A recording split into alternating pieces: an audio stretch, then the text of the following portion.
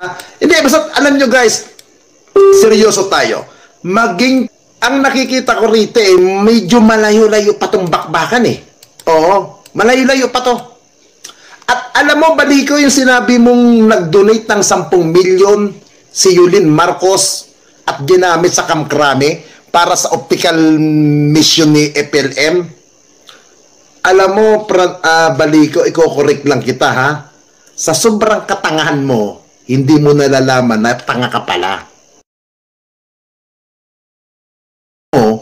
at sa kaalaman ko rin, yung nangyaring pamimigay ng salamin ni FLM ay hindi naman sa Kamkrame.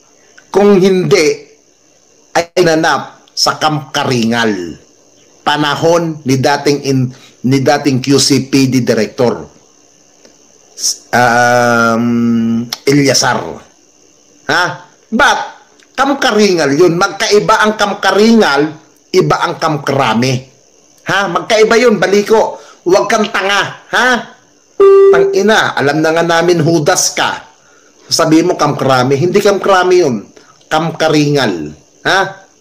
Sa Project 8 yun. Ha? Project 8. Ang Kamkrame nasa kam, sa EDSA. Ha? Sa pagitan ng Santolan Road to San Juan. Ha? Ang layo sa Kamkaringal. Ha? Huwag kang tanga. Huwag kang iingot-engot, ha?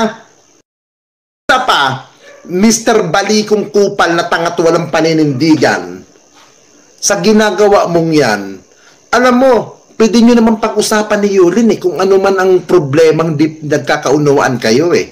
Ha? Pero sa tingin ko, mukhang hindi na eh. Kasi minura-mura ka na na rin nila Cherry. Inaway ka na rin ata nila Inday. Mari. Di ba? Alam mo, baliko.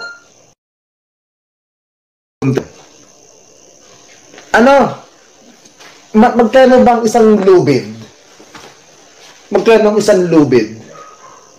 Magkano ang isang lubid? Yung matibay, pag inano mo sa kesame, pwede na bang isang libo na budget doon? Pwede na sir. Pwede na? Mm. Baliko, magsabi ka kung saan ko ipapadala ang isang libo. O, saan ko ipapadala ang isang libo? Para pambili ng lubid mo. Para magbigti ka na. Padadalahan kita ng isang libo. Tapos, ah, hindi isa pa. Mag, bibigyan pa kita ng... O, ito, dalawang libo na. O, sagot ko na rin yung babayaran ko yung P.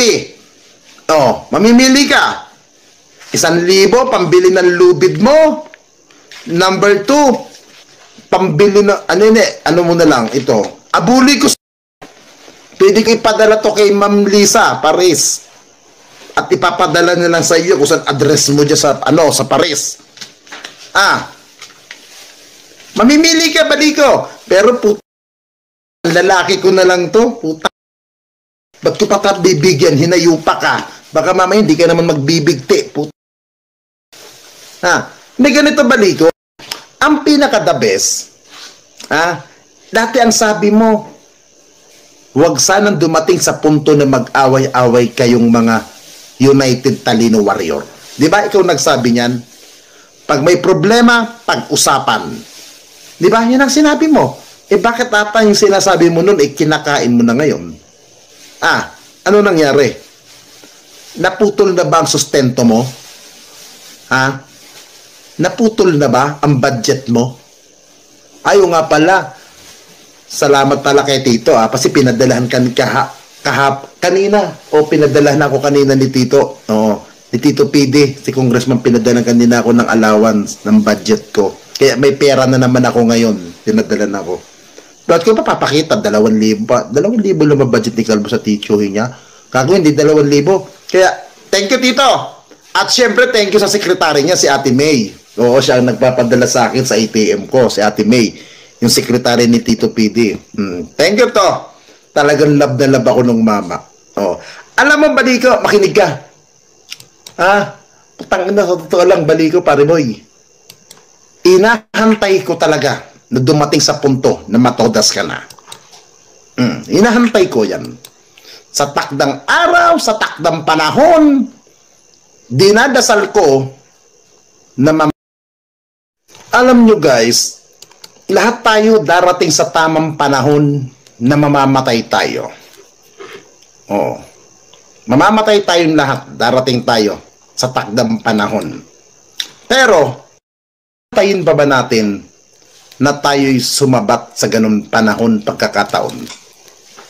Di ba mas maganda ho na tayo'y namatay na nagsisisi tayo sa atin mga kasalanan na ginawa? Di ba? Magmahalan tayo habang nabubuhay pa sa mundong ito. Kasi lahat tayo darating sa takdang panahon na eh kukunin tayo ni Lord, kukunin tayo ni